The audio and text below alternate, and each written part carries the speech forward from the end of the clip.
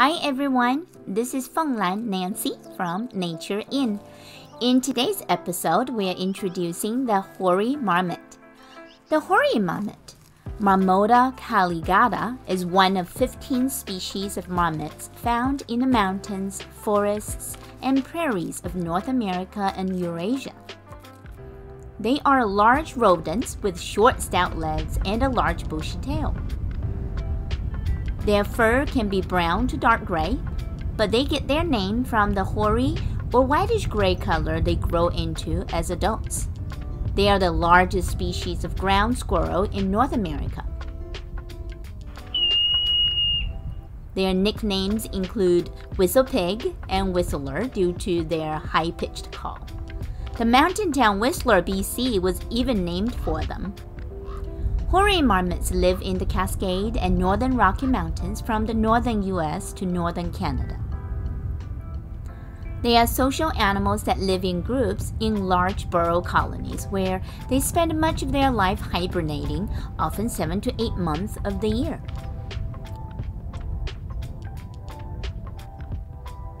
Reappearing in spring once the snow melts, they spend the summer getting fat for the next hibernation.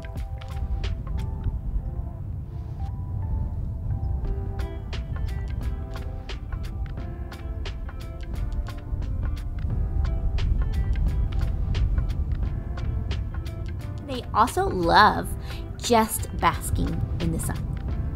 Hoary marmots often only have babies every other year depending on food abundance.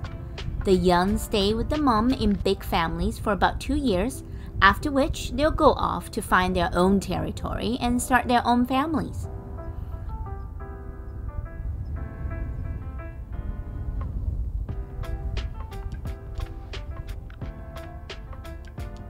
Young marmots and even adults are playful and wrestle or play fight, practicing for the sumo like pushing matches that adult marmots take more seriously.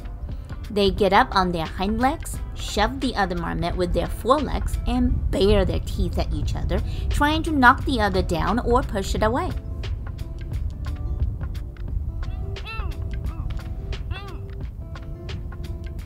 Even though they are really big for a rodent, they can still fall prey to bears, coyotes, wolves, and other predators.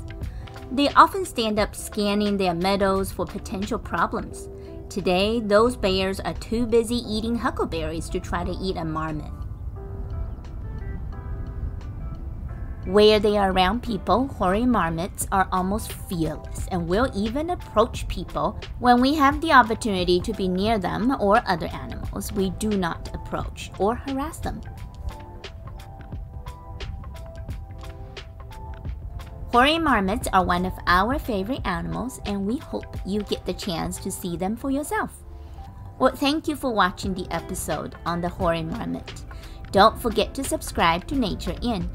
If you enjoyed it, please like it and share with your friends. Have a wonderful day.